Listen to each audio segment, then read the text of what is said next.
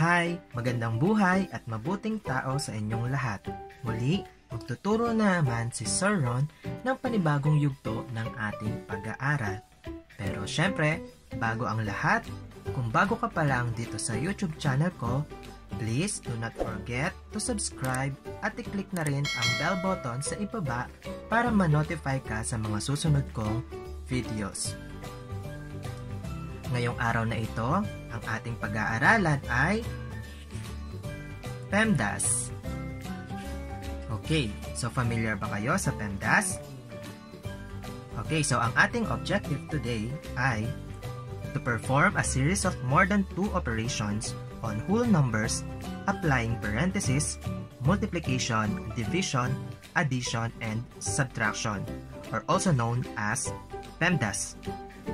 Okay, so kids, bago ang lahat, kailangan nating tandaan have to perform the operation or operations inside the parenthesis first. Ibig sabihin, kung ano ang nasa loob ng parenthesis, ito muna ang ating isosolve. Then, after the parenthesis, you have to perform the operations of multiplication or division or vice versa in order from left to right. Ano ba ang ibig sabihin ng multiplication or division or vice versa? Ibig sabihin kids, kung ano ang nauuna from left to right, siya ang uunahin nating isolve na operation. Ibig sabihin, pwedeng mauna ang division o kaya naman ang multiplication. Ganon din sa addition and subtraction. Para mas maunawaan natin ng mabuti, magbibigay tayo ng isang example.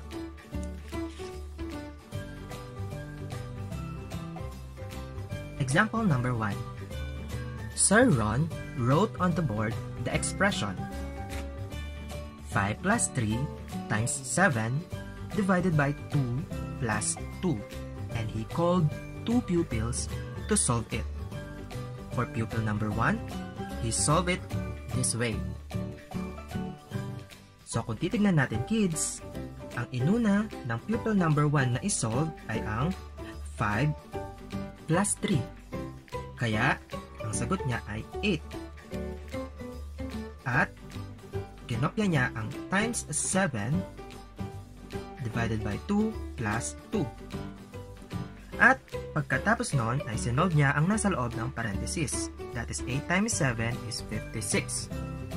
So, bring down divided by 2 plus 2. Next, 56 divided by 2 is 28 plus 2. Kaya naman ang pinakasagot niya ay 30. Pero bakit ibang-iba sa sagot ng pupil number 2? Okay, so tignan natin kung paano sinolve ni number 2 ang kanyang problem. So kung titignan natin kids, inuna niya sa loob ng parenthesis ang pagmumultiply ng 3 times 7. Kaya naman nakakuha siya ng 21 at ibinaba niya ang 5, gayon din ang divided by 2 plus 2. Next, sinolve niya ulit ang sa loob ng parenthesis, that is 5 plus 21. So, nakakuha siya ng 26. So, binring down niya ang divided by 2 plus 2. Next, sinolve niya ang 26 divided by 2, that is 13. Plus 2, pinaba niya lang ito. Next, pinag-add niya ang 13 plus 2 kaya naman nakakuha siya ng 15. Pero kids, kung titignan natin bakit magkaiba ang 30 at ang 15 sa sagot ng dalawang estudyante. Ngayon kids, sino sa dalawa ang tama? Okay, tama. Pupil number 2 got the correct answer. Why? Because he followed the rules of the PEMDAS correctly. Bakit? Kasi kung titignan natin sa pupil number 1, tama naman siya na inuna niya ang sa loob ng parenthesis, ngunit inuna niya ang pag-add kesa sa pagmumultiply. Kung titignan natin, sa rule ng PEMDAS, kailangan mauuna ang multiplication bago ang addition, na kung saan ganon ang tamang ginawa ni pupil number 2. Nagmultiply muna siya at pagkatapos ay nag-add. Kaya kung titignan natin, ang nakakuha ng tamang sagot ay ang pupil number 2. Okay kids? Naiintindihan ba natin? para mas maintindihan pa natin, magbibigay si Sir Ron ng mga halimbawa. Okay. For example, number 1. We have 5 plus 5 times 3 minus 13. Okay kids, sa rule ng PEMDAS, ano kasi ang uunahin natin? Very good. Uunahin natin ang sa loob ng parenthesis. Kaya naman, sa problem number 1, ano ang mga numero sa loob ng parenthesis? Very good. That is 5 plus 5. So, ito ang uunahin natin. Kahit nakikita natin na may multiplication dito. Kasi, sa rule ng PEMDAS, kailangan natin unahin ang parenthesis bago ang multiplication. Okay ba yun, kids? Okay, so unahin natin sa loob ng parenthesis. 5 plus 5. The answer is 10. Very good. And then, you have to bring down times 3 minus 13. Okay, kinopya ko lang yun kids ha. Okay, next tayo kids. Ano ang susunod nating gagawin? Magmumultiply ba? Or magsasubtract? Very good. Sa rule ng PEMDAS, kailangan muna nating magmultiply bago magsubtract. Kaya naman, unahin natin ang 10 times 3 bago ang magsubtract.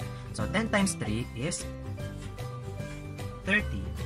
So, ibaba lang natin ang minus 13. Okay kids, so dalawa na lang ito. Ibig sabihin, napakadali na lang na isolve itong problem. Okay, so 30 minus 13 is, anong sagot kids? Very good. That is 17.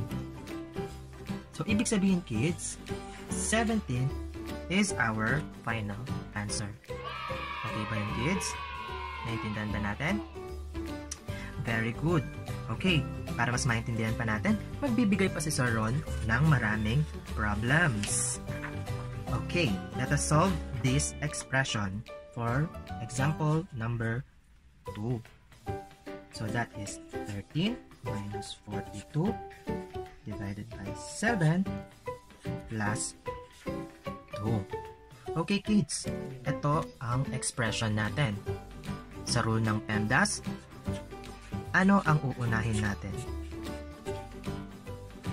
Meron ba tayong nakikitang parenthesis? Okay, wala. Meron ba tayong nakikitang multiplication? Very good, wala din. How about division? Yes, meron tayong nakikitang division. And that is 42 divided by 7. So, ibig sabihin, ito ang ating uunahin. So, 42 divided by 7. What is the answer? Very good. That is 6. Okay, kids. So, ano ang mga numero na hindi natin ginalaw?